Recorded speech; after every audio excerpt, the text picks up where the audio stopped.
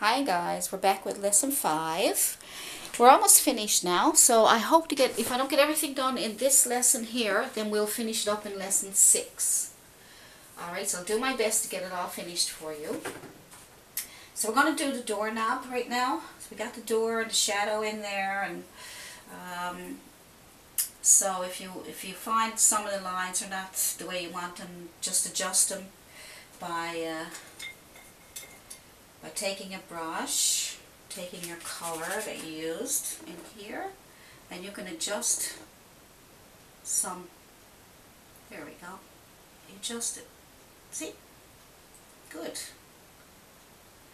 So if you do that, then you get that nice and straight. So let's do, let's use this little tiny brush, and we will use uh, what color? Let's see. Let's see. Let's go with brown. So go brown for our. And you can dip if you got any leftover dark purple color there. Just dip your brown, mix it in with your dark. If you don't, just take your burnt umber and make a little circle. You just tap it if you just touch. Just make sure it's a little bit round. That's all a little round doorknob, okay? And we'll let that dry a little bit before we do anything else with it, okay? These uh, ledges are a little thick, so what we're going to do is we're going to take a bit of uh, dark black and blue and put it in the windows to shape up our edges, shape up our windows the way we want them, okay? So use your black to get your windows the way you want them if you find that your sill, window sill is too big, just go back over with some black to uh, thin it out a bit. Same with over here. So we'll just take a bit of black and blue and we'll, oh, don't, okay, so it's alright. So, and then we'll straighten up the bottom one here. Good. Okay. Good. Now, what we're going to do now is, we'll also put some dark color in here. Good, and good. So I'm going to put more, I'm going to put a bit of blue in here. A bit of blue. Can't see it because I got too much black on my brush. So take that off and go into your blue. Add a bit of blue in here, in your windows. Because you want to make some cracks in the windows to make it look like they're uh, like it's a really old cabin, okay? Hasn't been used for a while. The family moved away. The family moved away. Down Florida. Okay, so, well, I'm in Newfoundland, so I'm thinking about the cold weather. So, Florida is a nice place for warm weather. So let's brighten up that with a little bit of white. Alright, just to give it so it looks like there might be some reflection in the window for now reflection. And then we get a little bit of reflection over here, just a little tiny bit, because we got to get those cracks in the window. Okay, now here's how you're going to make your cracks, alright? So we got the windows lighter, okay, get nice and get, get some light, in order to get that crack looking, we have to get some, uh, a lighter color in the background, okay? So let's go in with a lighter, a lighter color here, just to help us what I'm going to do is, I'm going to show you, okay, just lighten it up a bit there too. I, I didn't lighten it up enough. Lighten it up a bit. Alright, let's get that done. These cracks are going to be a little hard because they're uh, so small. But I'm going to give it a shot for you. Okay, so this is what the cracks look like. Alright, that's what the windows look like. Now you're going to always look at this painting here. You can always take, stop, pause your uh, TV or whatever you're watching it on and take a picture of this and then you can have something to follow. Okay, and that will help you because this one's a little bit different than the one I'm doing on video. This one I, I took more time with. And like you said, on video it's harder, but I'm doing my best. But uh, if you want to take a picture of that painting, then you can use that as a reference. Okay, now, let's give this a shot. Dip into pure black, okay, pure black with a little tiny brush, little teeny weeny brush. Now, I don't know, I better not move it. I better not move it, guys, because I might, my focus might go away. So what I'm going to do is put a bit of black in the window, touch black Alright, it's not pure round circle, it's just a bit of black. Alright, let me show you. Hopefully you can see that. I don't know. Okay, and so, you take that, and then all you have to do with that black is take a bit of white, alright, a little bit of white on top of your brush, and then around the edge of that black, you make a little trim. And voila! You have a crack in the window. Voila! Voila! See? Okay? I hope you can see that. Now, I'm going to do another one. This one has a crack probably over here, I'm not sure. I don't want to make it look like eyes. But I'll just put some black in there. So your background has to be a lighter color so that you can get the pure black. And then a little trim of white around the black edges, very thinly. And that will give you some cracks in your windows. Alright, so with the same brush, just take a bit of brown and a bit of uh, brown and a bit of uh, red and a little tiny bit of white and make a couple, you don't have to have these, but you can make a little, a couple of little, uh, I don't know what you call them, during your windows. Windows, windows, make it look like windows. Alright, and another window here. Here, there we go, that's good. That's good. Alright, so we're getting there, we're getting there. Now, here we're going, next we're going to do the flower pots. So the flower pots are pretty simple. The flower pots are like those there, okay, flower pots and some flowers. So let's do some of those in front of the house. Okay, so all we need for that is to, you can take your chalk and draw them out first if you want, you don't have to. All it is, is, uh, I'll do it with the brush. I'm going to take some brown paint. And all it is, is uh, pick a spot and then draw a line over on the top and then draw a line on the bottom and the flower pot's going to be in the grass line on the bottom and then join up those lines and that's one flower pot painted in brown. Okay it's one flower pot. Alright and then we'll do another flower pot on this side maybe a smaller one.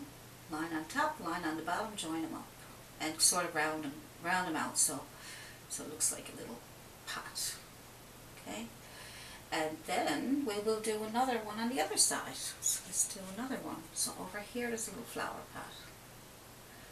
Line on top, line on the bottom, and just join them up. And you can have whatever shape you want. It can be small, big, tall, whatever you want. And then all you have to do is add some yellow to your brown with your dirty brush. Some yellow, maybe a little bit of red, red and yellow, just mixing a bit of red and yellow. And then I'm going to take that and I'm going to highlight the top of the pot right here and up here and up here. Okay, now we need to brighten it up obviously. Just go get a bit more yellow. So, boop, boop, boop, be doop. Alright, so then we got here, so that's good. And then on the bottom, you want to add a little bit more brown to your uh, brown, uh, yellow and brown. To, so it's a lighter brown. And then you just take the edge of your flower pot right here and pull it in. Leave one side of your pot dark. Okay. So brown and yellow. Yellow and pull it in. Okay, and leave leave the, uh, that's the side the sun is coming in on, so the uh, right hand side of your pot is going to be light, and leave the other half of the pot dark. Alright, so then there we go, and pull in. Another pot over here, pull in. Oops, okay. And then you're going to get a dark brown with a little bit of black added to it. So it's nice and dark. And we will take a little line underneath that highlight. Put a little line there for shadow. Alright, there we go. And you can fix it up now because we're just trying to get things in place, okay? So fix it up by adding the same colors back in there again. Pull over. Yellow and brown. Yellow. Brown. And that way you can shape up your uh, pots too, right? Shape it up. If you don't like the shape, you can always shape it up then. Okay. If it won't brighten up enough for you, just add a bit of white to your yellow. There we go. Okay. Looks like I gotta clean my brush. I want to clean my brush. There we go. Some yellow. Yellow. That's better. So then add to the very edges of your pot to make it look like maybe the sun is shining on it. That better? Good. We'll add a little bit over here. Bring it in. I'm not sure if the sun would be shining there.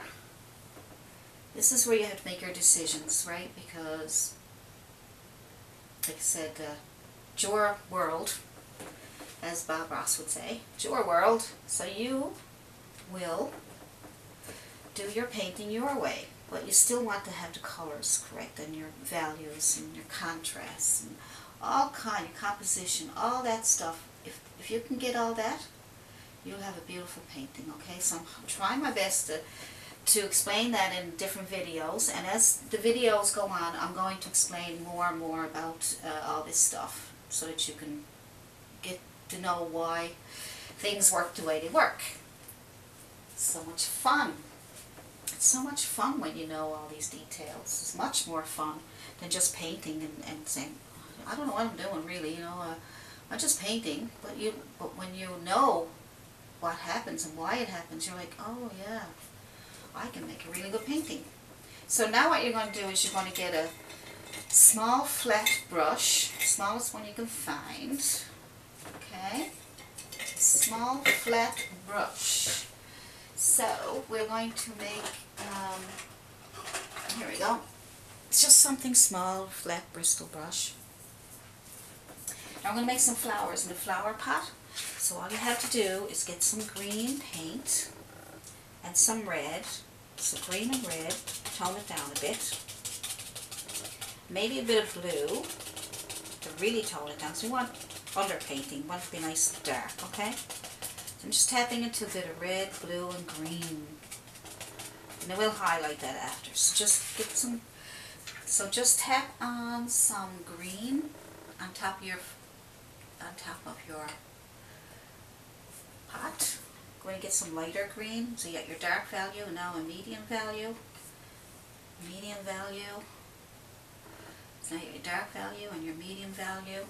And now a lighter value. I just add a little bit of yellow to my green and we get a lighter value. So I got three values on that one. So let's do another one. Let's do the other pot. So tap into your darker value. Tap on your green. Good.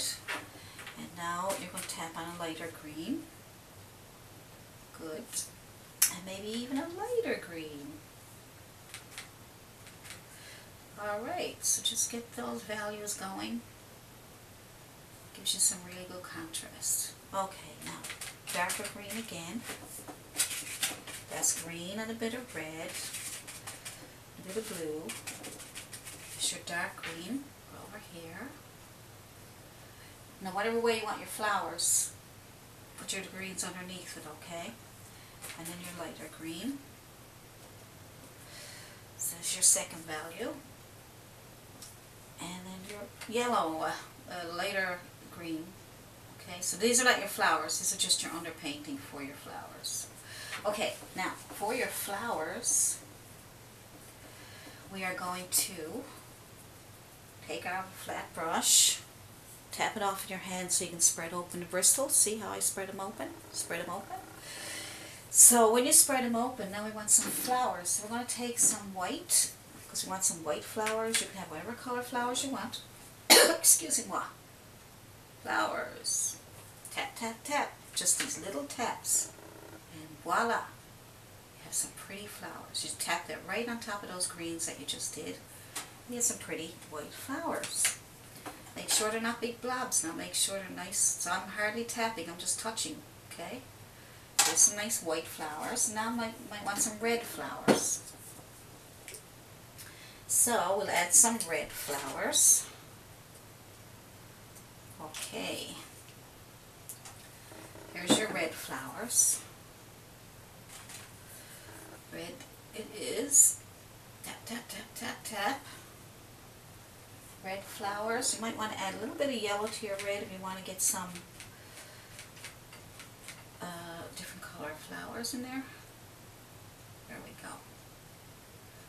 So whatever way you want your flowers. And let's see what else we got here. How about some just pure yellow flowers over here? So just yellow on top of your greens that you made, okay? All right. If you want, if you want, you can add some white to your yellow to really brighten it up. I'm getting all kinds of colors here now because my brush is pretty dirty. And they could, there we go, nice big bunch. Good. Might be hanging down over the side. Okay, now, they're a little bit different than the other painting because every painting you do is going to be different. You're not going to have exactly the same painting every time. You can do the same painting over and over 20 times and, and it'll always be different. So now let's take some more red and green and blue and get an underpainting for, I'm going to add a little tiny bit of black this time because I want a nice dark underpainting. I'm going to put a little blob here for another flower, okay? So that's that. I'll let that dry now while we're waiting. So next is um, that flower there and then I'm going to go and do one more video. I'm pretty sure I can get it done in the next video which is lesson um, 6. I keep getting confused with the lessons. Well, I'll, I'll explain it to you on uh, when, when I write it up on the YouTube. Okay, so I'm going to finish off this little one here and then I'm going to go and then I'm going to let you work on it. And all we need for that is a liner brush. Just get a liner brush like that. Script liner, rigger, whatever you want to call it. So what we're going to do is drag this through some white and some yellow. Okay? And you're just going to take some of these lines out like this, just to make some of these different kind of flowers. That's it. Might want to drag it through a little bit of green. Whatever colors you want to drag it through, okay? You just drag it through. Drag it through, like, you see? Like that. And then you just pull them out. Pull out, pull out, pull out, pull out and down, pull out and down, pull out and down, pull out and down, and add more light color to it so that you can get nice, nice light. So that'd be yellow, yellow and green, or yellow and red, or yellow, whatever colors you want. Just pull them down. That's, uh, I need more yellow, so I'm just going to get some more yellow. There we go. Alright, so I'm going to get more yellow, pull it through, and I'm going to put some yellow in there just to brighten it up. Now, I'm going to go finish off your flower, and I'll come back and then we'll hopefully finish it this time. I really hope we can finish it. So, I'll see you in the next video.